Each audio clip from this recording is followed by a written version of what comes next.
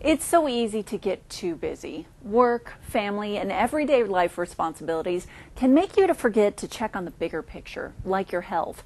And since May is High Blood Pressure Education Month, I headed out to Medical Associates of Central Virginia to find out how to make sure we're keeping our tickers going strong. And it can be easier than you think. Take a look.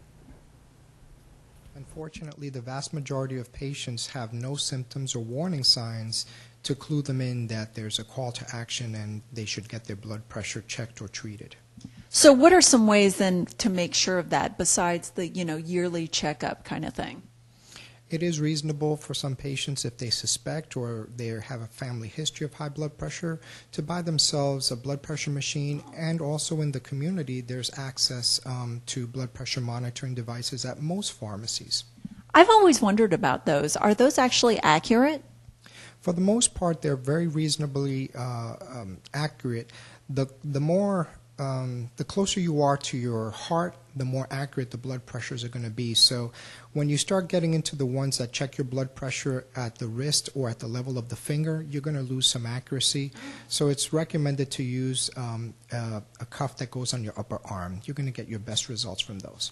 And you know, when you're out in the wintertime, you're wearing layers. Do you need to not be wearing layers in order to have it checked?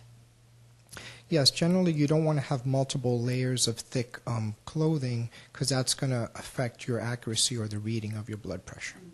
And naturally, there's some bad side effects with high blood pressure. You know, tell us a little bit about that and why should we be checking it? Well, untreated high blood pressure can lead to complications, mm-hmm. and the complications are associated with the organ that's being affected. So, for instance, untreated high blood pressure can increase your risk of atherosclerosis, hardening of the arteries, coronary artery disease, heart attacks, strokes, and then also, too, if you have high blood pressures, um, your heart has to um, thicken its muscle walls in order to be able to respond to those higher pressures, and that could lead to something called congestive heart failure, also too. There could also be um, uh, chronic kidney disease, ultimately re- resulting in some uh, renal failure or dialysis. So, super scary stuff. So, basically, it's better to head out to the pharmacy or make sure you're going to the doctor on a regular basis. And, and especially some folks out there with like family histories, right? Yes, if there is a family history, that doesn't guarantee that you're going to have some issues with blood pressures, but it certainly can increase your risk of that. And what are some ways to prevent high blood pressure then? we always want to um, try lifestyle modifications whenever possible before we even think about medications. So, for many people, if they're overweight, losing weight would also be a very effective thing, and also dietary modifications. A, a diet high in sodium um, the average American diet has a lot of sodium, and if you eat out in restaurants, there tends to be a lot of um, sodium in the food that you eat. Mm-hmm. That can actually be significant. About half of patients tend to be very sensitive to sodium with regard to their blood pressure. And then also getting regular exercise also increases your, your likelihood of not needing uh, blood pressure medic- medicines. And when it comes down to it, though, if you need to take medicines, it's the best idea to go that route, right?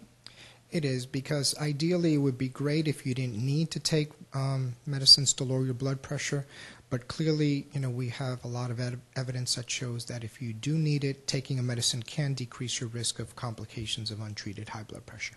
And you and I were talking a little bit before this, and you told me some fascinating history on how medicine has changed over time thinking about high blood pressure.